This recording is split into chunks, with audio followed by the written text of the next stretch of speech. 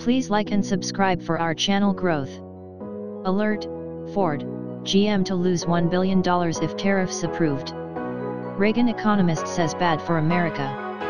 Analysts said companies such as Ford and General Motors would be hit hard if the U.S. sets tariffs on imported steel and aluminum as President Donald Trump announced last week. According to Market Watch, the automotive corporations are estimated to take a hit to their profits in the neighborhood of $1 billion each should the tariff proposal be enacted, with numerous other machinery companies being hurt as well.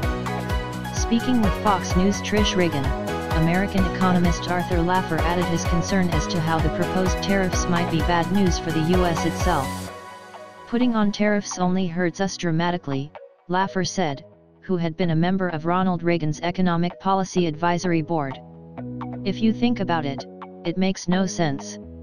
High quality, low cost imports is good for America. It's not bad for America. Laffer stated that a major way foreign companies invest in America is by selling more goods to us and buying less goods from us in order to get the money to buy assets located in the US.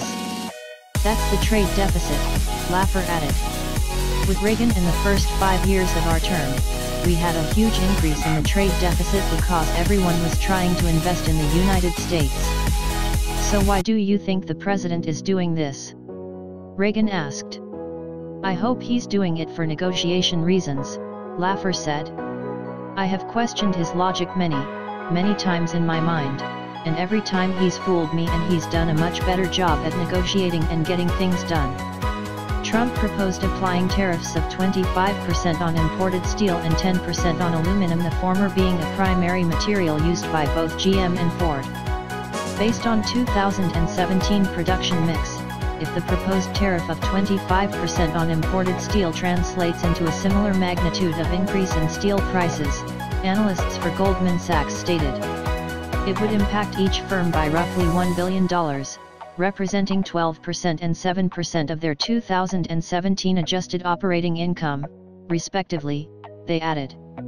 Analysts added that the financial markets have expressed concern that the proposed tariffs could trigger a trade war, although both the Dow Jones Industrial Average and the S&P 500 index were effectively bouncing back from earlier losses. Other machinery companies, such as Terex and Oshkosh, are expected to also see reduced profit margins, as both companies have less pricing power than Caterpillar or Deere,